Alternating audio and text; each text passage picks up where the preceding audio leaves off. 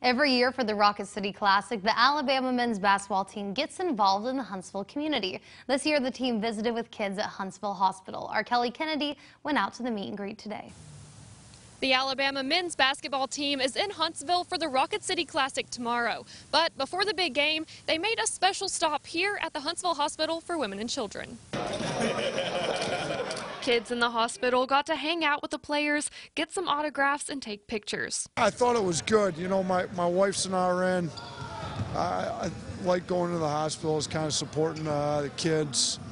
Thought our players were really good with the kids, so it's good to put a smile on the kids' faces and just good to bring a little holiday cheer to some of the kids that have been in the hospital for a little while. I thought it was awesome. It was a nice surprise. He's a big basketball fan and he loves to play, so that was awesome for him to get to experience. Head coach Nate Oats says the kids weren't the only ones whose hearts were touched. I think it's good for our, our own players to reach out and make some other kids happy, see what their influence can be on some kids that are maybe been struggling or going through some stuff that it's a little bit more difficult in life. Giving back to local families was even more special for player John Petty, who's from Huntsville. Uh, it's always amazing just to go back and, you know, just uplift some, some kids' spirit. You know, you never know what they go through throughout the day, throughout the week, so it just always felt good for us um, with the type of name we have and the type of impression we bring just to go back and, and give show love to, to younger kids. Alabama will take on Belmont tomorrow. Putting the Valley first, Kelly Kennedy, WZDX News.